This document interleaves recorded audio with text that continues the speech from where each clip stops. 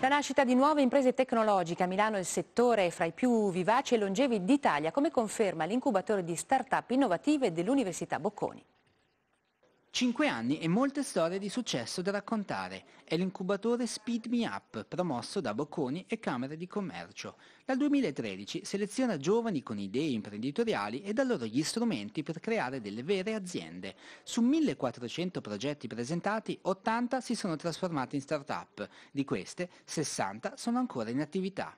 Assistenza e finanziamenti sono la chiave di tutto. Loro ci hanno dato la fiducia per renderla concreta perché da soli eravamo un po' titubanti, mentre se anche Bocconi credi in te, perché non, non buttarci sì, al 100%? Per crescere abbiamo bisogno di fare tanta ricerca ed è per questo che abbiamo ricevuto un importante finanziamento da Invitalia eh, che ci ha concesso di investire nei prossimi due anni 700 mila euro in ricerca e sviluppo. Eppure non è tutto semplice per le società innovative perché gli investimenti in capitale di rischio in Italia rimangono bassi. La strada è quella di non inseguire il mito americano delle exit, ossia le vendite milionarie delle imprese a grandi aziende. Quello che cerchiamo di far capire alle start-up non è di avere il mito dell'exit, ma invece la, la necessità e l'onere di dover fatturare, crescere eh, eh, in ricchezza sia per loro che per i loro dipendenti, insegnargli a fare delle società sane e soprattutto solide. Per entrare a Speed Me Up bisogna partecipare a un bando, il prossimo scade il 30 marzo.